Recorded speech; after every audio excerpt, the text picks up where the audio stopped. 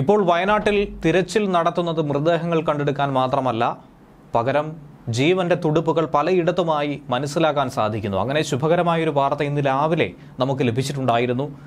കുറച്ചുപേരെ രക്ഷിക്കാനായി സാധിച്ചിരുന്നു. അതുപോലെ പലയിടത്തും കുടുങ്ങിക്കിടക്കാൻ സാധ്യതയുള്ള ആളുകൾ ഉണ്ടായിരിക്കാം. ജീവനും കയ്യിൽ പിടിച്ച് മരണത്തോട് പൊരുതി വിജയിച്ചു വരുന്ന നിരവധി ആളുകൾക്കായിട്ടാണ് ഇപ്പോൾ കാത്തിരിക്കുന്നത്. അതിന്റെ ഭാഗമായി ഉരുൾപൊട്ടൽ ദുരന്തമുണ്ടാക്കിയ മുണ്ടക്കൈ ചൂരൽമല പുഞ്ചിരിമട്ടം എന്നീ മേഖലയിലൊക്കെ ജീവന്റെ തുടുപ്പുണ്ടെങ്കിൽ അത് കണ്ടെത്താനുള്ള പരിശോധനയാണ് റഡാർ ഉപയോഗിച്ചുകൊണ്ട് നടത്തുന്നത്. ഈ നാലാം ദിവസം രക്ഷാപ്രവർത്തനം തുടരുന്നതിനിടയിൽ റഡാർ പരിശോധനയിൽ മണ്ണിനടിയിൽ നിന്നും സിഗ്നൽ ലഭിച്ചിരിക്കുകയാണ്. വൈകുന്നേരത്തോടു കൂടിയാണ് ഈ സിഗ്നൽ ലഭിച്ചിരിക്കുന്നത്. മുണ്ടക്കൈ അങ്ങാടിയിൽ അത്യാധുനിക തെർമൽ ഇമേജ് റഡാർ അതായത് ഹ്യൂമൻ റെസ്ക്യൂ റഡാർ ഉപയോഗിച്ചുകൊണ്ട് നടത്തിയ പരിശോധനയിലൂടെയാണ് മണ്ണിനടിയിൽ നിന്നും തുടർച്ചയായി തന്നെ ശ്വാസമെടുപ്പിന്റെ സിഗ്നൽ ലഭിച്ചിരിക്കുന്നത്. എന്നാൽ ഇത് മനുഷ്യന്റെ സിഗ്നൽ ആണോ എന്നുള്ള കാര്യത്തിലുള്ള കൃത്യമായ സ്ഥിരീകരണം നൽകാറായിട്ടില്ല.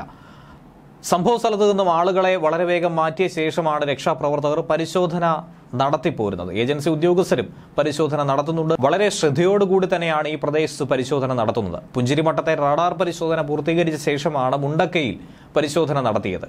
സിഗ്നൽ കിട്ടിയ കെട്ടിടത്തിൽ നിന്നും മൂന്ന് പേരെ കാണാതായതായിട്ടാണ് നാട്ടുകാർ പറയുന്നത്. സിഗ്നൽ കിട്ടിയിരിക്കുന്നത് ഏകദേശം ഒരു അടുക്കള ഭാഗത്ത് നിന്നാണെന്നും മനസ്സിലാക്കാൻ കഴിയുന്നുണ്ട്. അങ്ങനെയെങ്കിൽ അവർ അഭയം തേടി നിൽക്കുന്നത് ഈ മേഖലയിലായിരിക്കാം.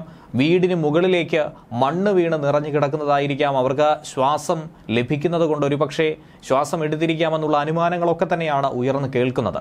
സ്ഥലത്ത് കോൺക്രീറ്റും മണ്ണും തടിയുമൊക്കെ കുമിഞ്ഞുകൂടി കിടക്കുകയാണ് അതൊക്കെ മാറ്റിയുള്ള പരിശോധനയാണ് നടത്തുന്നത്. മൂന്ന് മീറ്റർ താഴ്ചയിൽ നിന്നാണ് സിഗ്നൽ കിട്ടിയത്. അതായത് വീടിന്റെ ഉള്ളിൽ നിന്ന് തന്നെയാണെന്നുള്ളത് വ്യക്തമാണ്. അത് മനുഷ്യന്റേതാകണമെന്ന് നിർബന്ധമൊന്നും തന്നെയില്ല. ഒരുപക്ഷെ മറ്റെന്തെങ്കിലും ജീവജാലങ്ങൾ പൂച്ചയോ പട്ടിയോ അങ്ങനെയുള്ള എന്തെങ്കിലും ജീവികളാകാനുള്ള സാധ്യതയുമുണ്ട്. എന്നിരുന്നാൽ പോലും അതിനെയും രക്ഷിച്ചെടുക്കാനുള്ള ദൗത്യത്തിലേക്കാണ് പോകുന്നത്.